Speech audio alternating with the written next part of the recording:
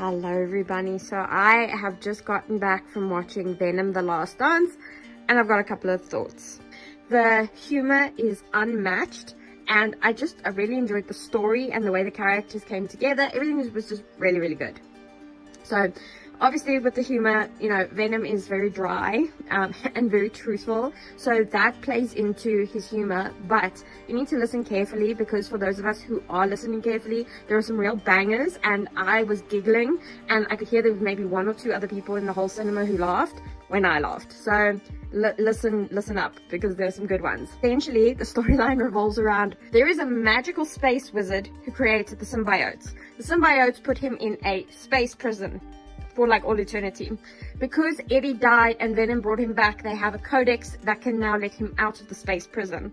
So he sends space cockroaches to come and fetch the key to let himself out. That is the theme of the story, is that Eddie and Venom are running from the space cockroaches sent by the magical space wizard. So that's the storyline. It's really good. It's really well played out.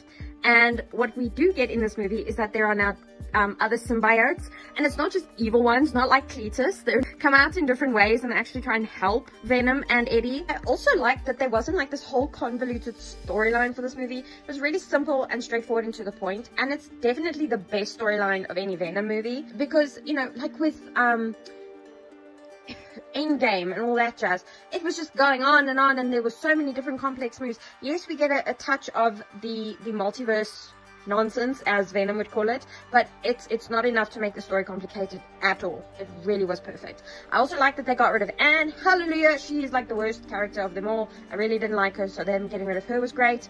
Um, they did leave the storyline open to like expand not necessarily with Eddie, but in general, the symbiotes are not gone. So I'm going to leave that there. And then I really, really thought those two post-credit scenes also, I didn't quite understand them, the context of them, and I don't want to Google too much because I don't want to ruin it for myself.